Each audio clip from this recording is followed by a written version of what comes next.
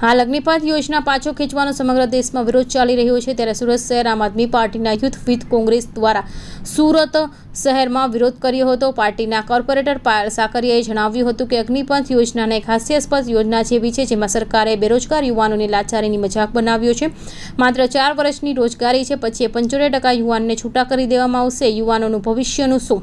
તેમજ વધુમાં જણાવ્યું હતું કે દેશની આ બાબતે સુરક્ષા અને સલામતી સાથે પણ જોડાયેલી છે. તો આટલી ગંભીર બાબતમાં સરકાર આટલી ઉદાસીન કેમ છે?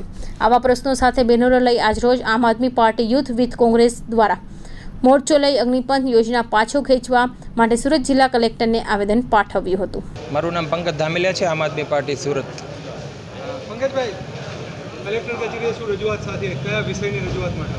આજે અમે કલેક્ટરશ્રી મારફતે સરકારને રજૂઆત કરવા માટે આવ્યા છીએ કે જે અગ્નિપથ યોજના નામે જે નવું એક તૂત લાવ્યા છે જેવી રીતે નોટબંધીનું એક તૂત હતું જેના કોઈ ફાયદા નથી. એવી રીતે અગ્નિપથ યોજનાને એક નવા રૂપરંગ સાથે અને યુવાનોનું શોષણ કરવા માટે ગુજરાતની અંદર ઘણા ટાઈમથી કોન્ટ્રાક્ટ પે પદ્ધતિ ચાલે છે. વિદ્યા સહા- સહાયકો એવી રીતે અલગ અલગ નામથી હંમેશા યુવાનોને રમાડતા આવ્યા છે, એનો ઉપયોગ કરતા આવ્યા છે, શોષણ કરતા આવ્યા છે. એવી રીતે સેનાની અંદર પણ યુવાનોનું શોષણ થાય, સરકારને કોઈ નક્કર પગલાં લીધે, લેવા સિવાય ફક્ત ને ફક્ત યુવાનોને ગેરમાર્ગે દોરીને આ કરવા માટેની એક નવી યોજના લેવા છે. એનો આમ આદમી પાર્ટી વિરોધ કરે છે. યોજના રદ થાય એના માટે અમે આવેદનપત્ર દેવા માટે આવ્યા છીએ. પંકજભાઈ શહેરમાં હોર્ડિંગ્સ લાગેલા છે યુવાનો જોડાઓ આપ યુવાનોનું બિલકુલ. આમ આદમી પાર્ટી યુવાનો જોડાય.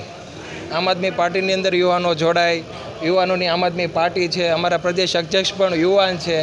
અને આખો દેશ યુવાન છે. હોર્ડિંગ્સ બીજા પક્ષના લાગેલા છે. તમે જે આમ યુવા, યુવાનો યુવાનો જોડાય છે તો ખ્યાલ છે અત્યારે ક્યાં યુવાનો છે ને ક્યાં નથી. બધાને ખ્યાલ છે.